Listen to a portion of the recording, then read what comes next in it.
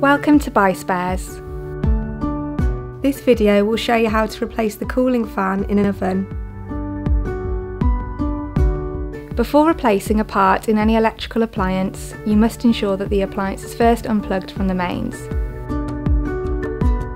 If the cooling fan in your oven is noisy or not working at all when the oven is on or cooling down, then it may need to be replaced. First remove the oven from its housing and loosen the cable grip at the back. Then unscrew and remove the back panel.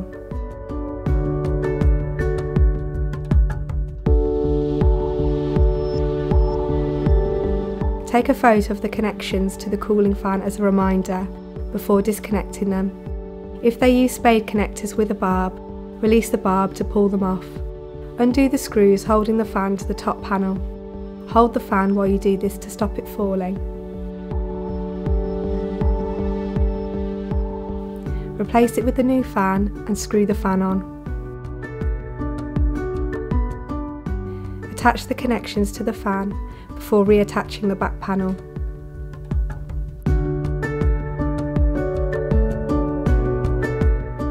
Tighten the cable grip, then replace the oven in its cavity. For all the spares you need, visit www.buyspares.co.uk.